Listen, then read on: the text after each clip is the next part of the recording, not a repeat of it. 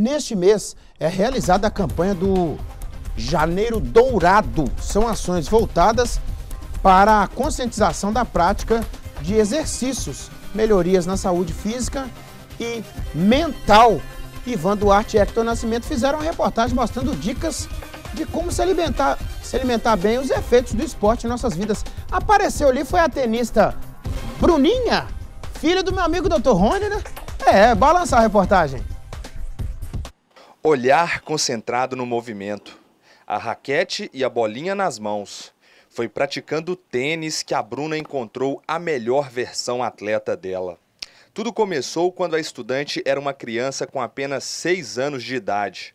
Hoje, ela conta com amor sobre o esporte. Como todos nós sabemos, o tênis é um esporte excelente para o corpo e como eu comecei muito pequenininha, com apenas 6 anos, foi um esporte mais que visava pela saúde e assim, né, como atividade física. Mas após os anos passando, eu percebi que era um esporte que fazia parte do meu dia a dia e que fazia parte de mim. Então comecei a viajar, a participar de torneios e com o tempo ele se tornou um esporte essencial para o meu dia a dia. É, me ajuda na minha organização, né? a disciplina que o tênis me ensinou, eu uso para a vida toda, tanto nos estudos quanto nos treinos, em viagens e eu sou muito feliz porque eu tenho essa oportunidade. Mas depois que a rotina de praticar esportes se torna frequente, entra em cena um desafio a boa alimentação. O nutricionista revela que é comum as pessoas saberem o que não comer, mas a partir daí nasce a dúvida do que deve ser ingerido para se manter saudável ou até mesmo para quem tem pretensões estéticas. Frutas, legumes, verduras, ovo, carne, frango, peixe, arroz, feijão, cereais. É o básico que qualquer pessoa consegue ter não são alimentos caros, não precisa investir muito dinheiro para ser uma pessoa saudável. Você consegue comprar quatro é, reais um quilo de batata doce, né? Precisa, e, e, às vezes um, um, um, pacote de batata frita de, de, marcas famosas aí de 180 gramas custa 12 reais. Então dá para fazer uma abóbora moranga, ela custa dois reais o quilo. Cara. Então não precisa ter muito dinheiro para ser saudável, é só escolher coisas mais naturais. Os dois principais vilões que jogam contra quem está em busca de melhorar a saúde e o condicionamento físico são o álcool e o açúcar. Eles serão prejudiciais, mas isso quer dizer que não devem ser consumidos? Não.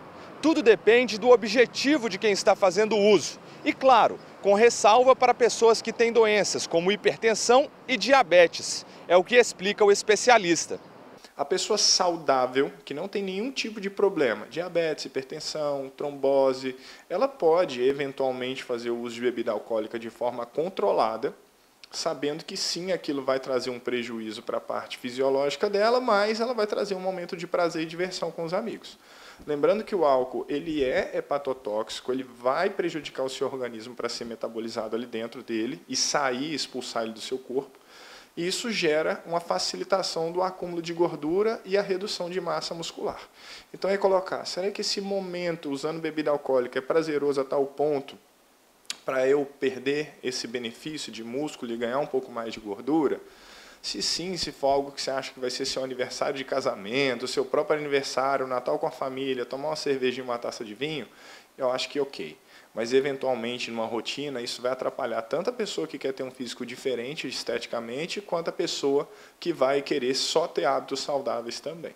Além do tênis, a atividade física pode ser uma caminhada, musculação ou, por que não, o basquete. Neste centro de treinamento, mais de 200 alunos se aventuram no esporte.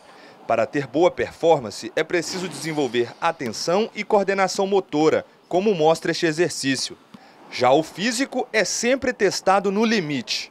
No entanto, melhor do que fazer bem ao corpo, este educador explica que o resultado está dentro da mente das pessoas. Nós temos aqui vários relatos de alunos é, e atletas na qual passaram por várias dificuldades, como depressão, né, momentos de crise de ansiedade, E o esporte trouxe para eles um bem-estar muito maior, né? Alunos que faziam terapia, que faziam outros tipos de tratamento, que encontrou no esporte aí um benefício muito grande para esse tipo de problema, uma solução, na verdade, para esse tipo de problema que ele vem passando. E nós temos relatos aí quase que diariamente de alunos, né, é, dizendo o quanto o esporte faz bem, o quanto a prática do, do, do, da atividade física faz bem para a cabeça, faz bem para o corpo e, e para esses problemas que eles têm passado também. Ah, lembra da Bruna, mostrada no início da reportagem?